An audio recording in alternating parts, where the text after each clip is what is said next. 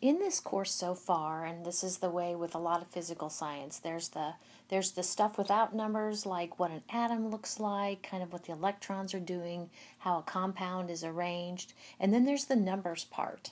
Um, the numbers are very important to what we say quantify things in in science. It, they just are. And so, this concept of stoichia, uh, problems called stoichiometric calculations are very numbers oriented. And some of them, some of you will like that numbers, numbers orientation sort of thing, and some of you won't. But here we go.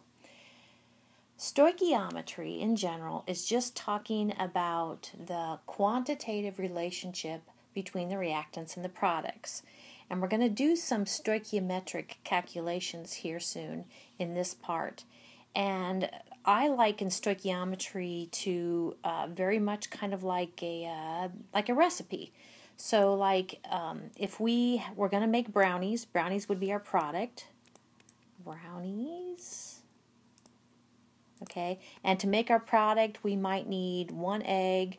Okay, and we need two cups of flour and one half cup of sugar. We'll just kind of start out like that, okay? Now, the stoichiometry of this recipe is a kind of a one egg, two cups of flour to one half cup of sugar, and the brownies that you will form. Now, brownies isn't enough. It's all about quantitative, it's all about numbers. So we could say maybe this one batch of brownies will give you, uh, what do you think, uh, 24 serving, 24 brownies, 24 Okay, 24 brownies. So now we have a number.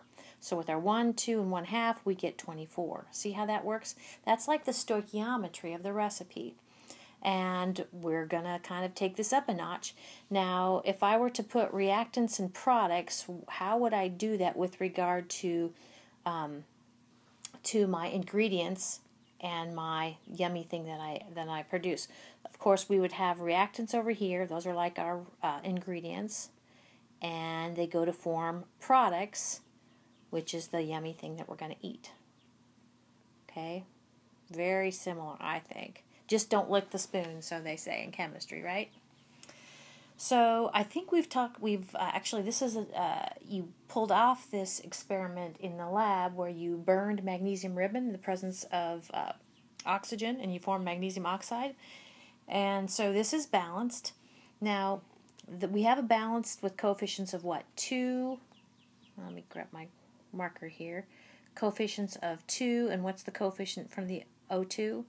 The coefficient of 1 and, and 2 across the board. We get the same number of magnesium and oxygen atoms on either side of the reaction arrow. We talked about that before.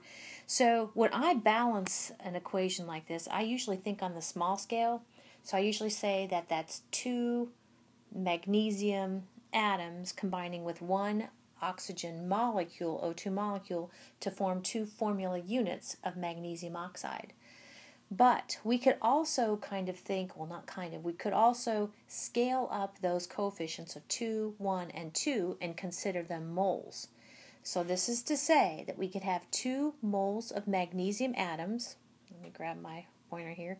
2 moles of magnesium atoms combined with 1 mole of O2 molecules to form 2 moles of magnesium oxide formula units.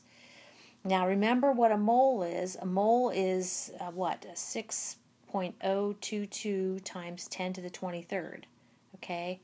So, um, of course, 2 moles is, how do I say this? It, it all works. We could say we could say we have two dozen magnesium atoms uh, react with one dozen of O2 molecules to form two dozen magnesium oxide formula units. We're just taking it all the way up to a mole. Okay.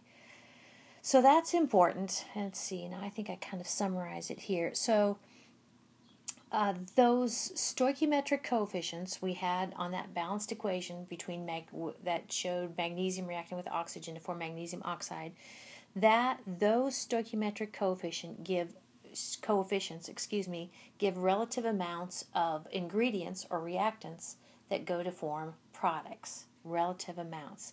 And so we're kind of setting ourselves up here momentarily to do some stoichiometric um, stoichiometric calculations using those stoichiometric coefficients.